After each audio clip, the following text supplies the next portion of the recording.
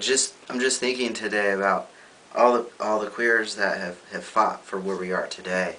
Um, that we, we are living in a society that the queers today are more privileged than the queers of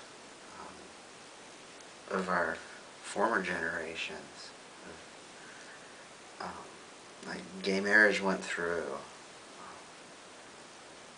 I I have legal protection in, in the state of Washington for being trans. My union backs me. Um, I was able to get on T in a month. Um, I was able to even get on T.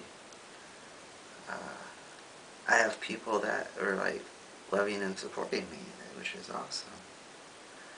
Um, it's just not enough for me. It really isn't enough. I don't think it'll be enough until we are like seen as equal and we're, we're treated as equal. Um, and sometimes this discrimination could kind of come in like subtle ways. Like people acting like they love you, but then they really just like think of you as lesser than them or not equal. And that's not cool either, you know. Um, that's not equality. It, it, was just interesting this this last couple weeks, just um, hanging out around town with Amy. Just whether it be like at like Joann's or Broad Sales or just people interacting with us and, seeing us as a straight couple, and there's a, a lot less um, comfortableness with people um, than towards us. I'm definitely comfortable too. but um, that bothers me, know. Um, I think this is that's definitely going to be a subject that I'm going to be talking a lot about on my on my YouTube. Probably be um, how different it is to be seen as a straight couple versus um, being seen as like a lesbian couple. And um, but I feel like it's just this has just happened like last couple weeks to a month, so I don't want to talk too much of it.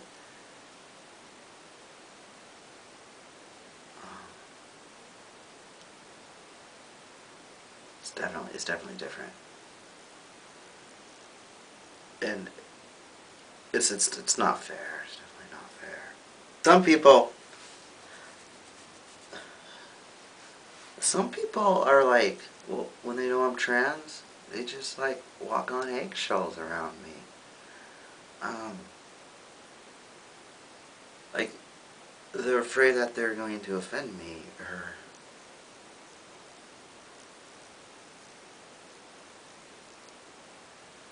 No, that's kind of weird also.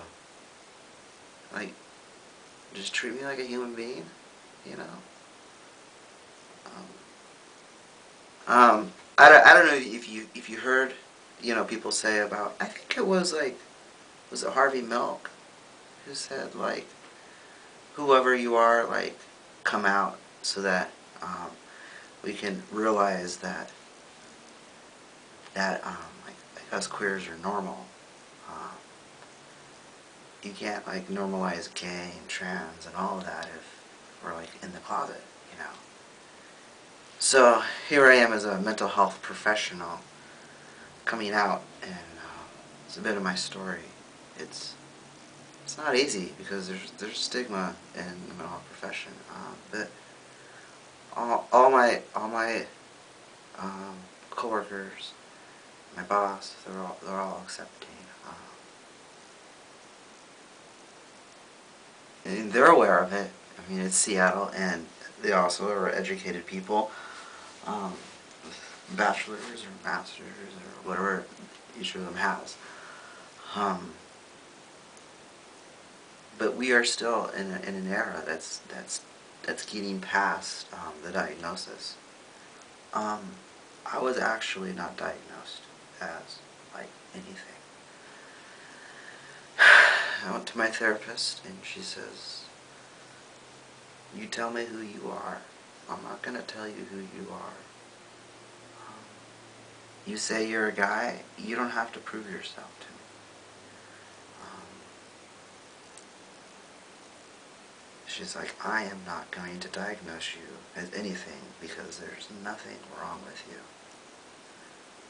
Um, and then I, uh, she gave me an informed consent form which is like me signing over that I actually know what I'm getting myself into.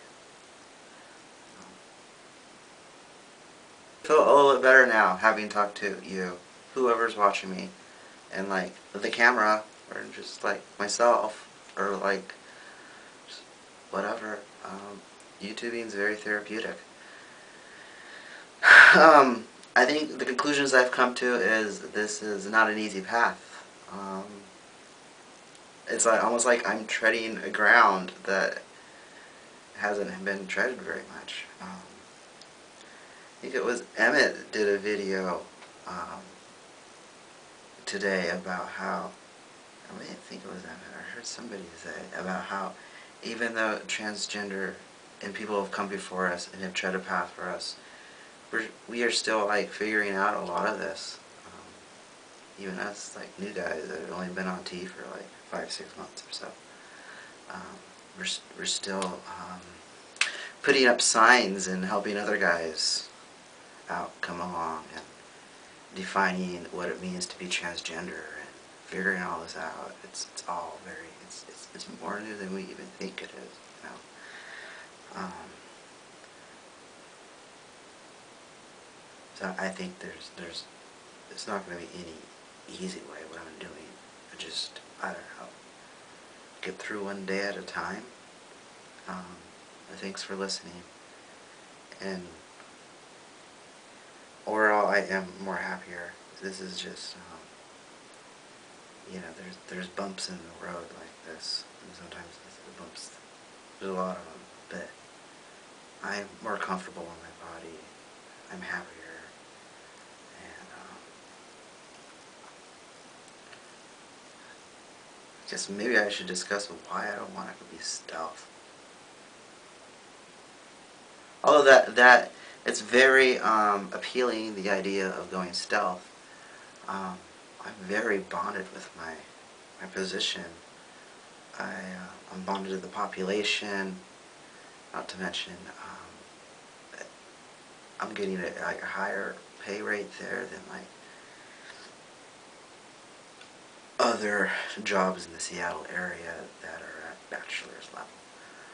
Um, good benefits. Um, it's just, um, I like my job. But if it, if it comes down to it and I have to go um, work someplace else, I guess I'll have to face that when it comes. But for right now, I really think that I'm just supposed to, to stay here where I'm at and, uh, I don't know, choose the road less traveled, I guess. But when it gets, when some, when some days when it's really tough, I just tell myself, um, just get through the first year, and then if you want to go work someplace else, someplace else and be stealth, and that's your choice. Anyways, that's all I have to say for now, guys.